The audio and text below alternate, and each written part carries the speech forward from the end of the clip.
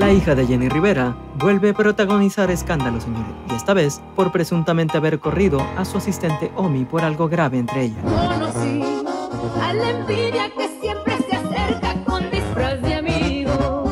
Según informes, mucho tuvo que ver el alcohol por parte de Omi. Cabe mencionar que ya es la segunda vez, pues en una oportunidad la despidió por dinero.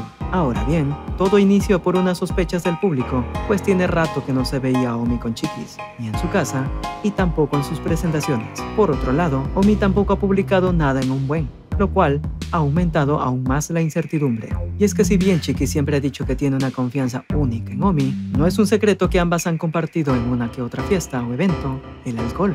Y empezando por ahí, es como surge el desenlace de esta historia. Se dice que hace un par de semanas se encontraban tomando, y muy pasadas de copa, Omi tomó la palabra para desahogarse, por las exigencias que recibe hasta el momento de Chiquis. Según testigos, la asistente fue muy grosera, y la cantante, como es conocida por no dejarse de nadie, le contestó abrumada por el alcohol. Ambas estuvieron boca a boca, por un buen rato, entre jaloneos y gritos, hasta que Chiquis la corrió del lugar. Mi mamá Después de esa discusión, la hija de Jenny Rivera tomó otras medidas despidiéndola como castigo. Pero esta decisión no ha pasado desapercibido por el público, que ya comenta sobre lo sucedido. Opinión personal sobre el alcohol. No trae nada bueno tomar, menos con personal de trabajo.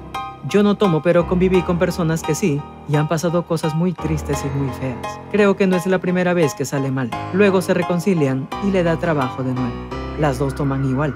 Eso se miraba en los videos. Pésimo tomar con los empleados. Pero bueno, antes de irme, te cuento cómo Marjorie de Sousa explica por qué cría sola a su hijo sin Julián Hill. Así que si te lo perdiste, aquí te lo cuento todo.